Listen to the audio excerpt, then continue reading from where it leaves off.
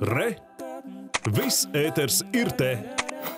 Laikā, kad visā Latvijā tiek demontēti pieminekļi, kas veltīti padomju armijas kritušajiem karavīriem šeit Barkavā, Madonas novadā, šādi brāļu kapati ir tikuši atjaunoti, un tas pat laban mulsina ceturtās studijas skatītājus.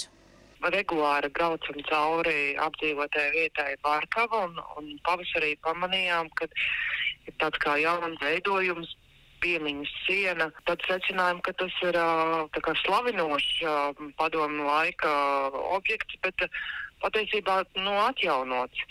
Tā ir tāda kā piemiņas siena karā kritušiem varoņiem. Un, un apskatot tuvāk, arī secinājām, ka nav neviena uzraksta valsts valodā. Manuprāt, šajā laikā, kad uh, visur citur nojauc šādus monumentus un, un cīnās par to nojaukšanu, tad liekas tad, tā kā neloģiski, ka tādā nelielā apdzīvotā vietā ir kaut kas salīdzinoši grandios uzbūvēts un, un, un nesaprotam, kāpēc. Vēstures dati liecina, ka Barkavas ciema centrā tik tiešām atrodas brāļu kapi, kas sākti veidot 1945. gada vasarā. Šeit abadījuši apkaimē kritušos karavīrus. Tā ir uh, reāla apbedījuma vieta. Šeit apakšā guļ uh, reāli cilvēki.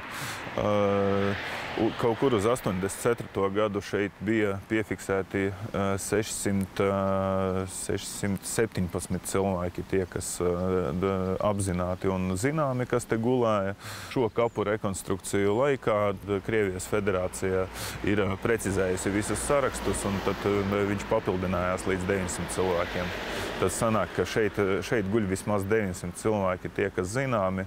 Vēsturnieki šeit uz vietas arī saka, ka šeit nav bijuši tikai uh, padomju karavīri, bet arī vācu karavīri, bet uh, par to man informācijas nav.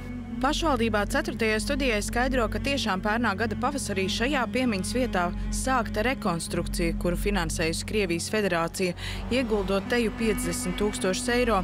Darbi vēl nav pabeigti, teritorija nav apzaļumota, kā ticis iecerēts, bet pārvaldes vadītājs cer, ka vēl šogad projekts tiks īstenots līdz galam. Uztaisīta kompozīcija tā, iepriekš šeit šitā siena bija eh, betona siena, kur bija eh, marmora plāksnes.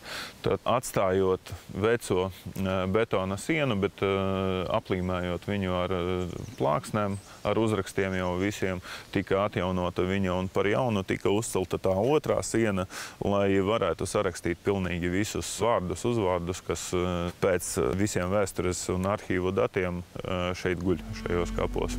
Ja Barkavas viesiem karā kritušo padomju laika karavīru godināšana Krievu valodā liek uzdot nērtus jautājumus, tad pašiem ciemiedzīvotājiem brāļu kapu esamība jau vēsturiski ierasta.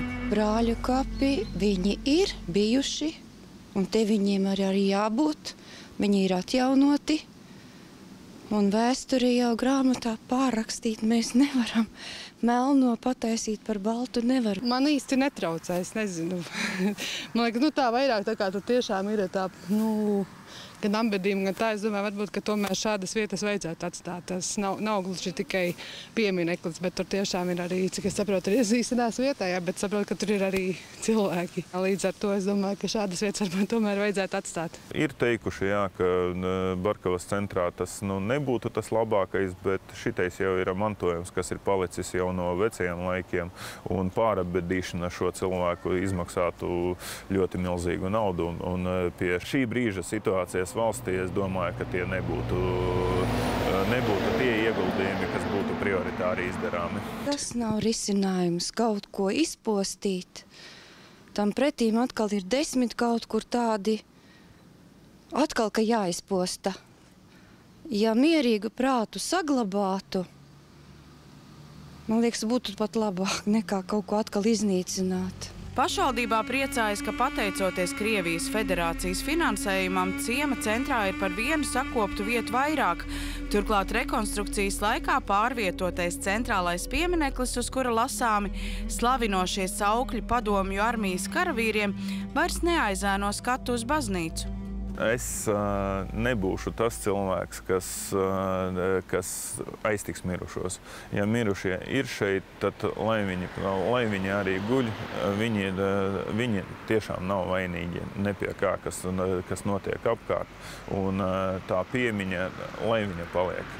jo viņi ir, viņi ir atraduši savu pēdējo vietu tieši šeit, Barkavā. Tad, tad, tad, tas, uh, jebkurā gadījumā paliks kā, kā vēstures fakts, un mēs no viņa nevaram izvairīties. Jāpiebilst, ka padomju varu slavinošos pieminekļus, kuru pakājē neatdusas bojā gājušie zaldāti, pašvaldība ir demontējusi. Šajā vietā atradies piemiņas piemineklis, kas veltīts cīņām, kas risinājušās tepat Aiviekses upes krastā. Kā redzams, tas šobrīd ir demontēts, un Barkavas pašvaldība sola labi iekārtot šo teritoriju makšķernieku vajadzībām. Ineses Upe, Igors Stāts, 4. studija.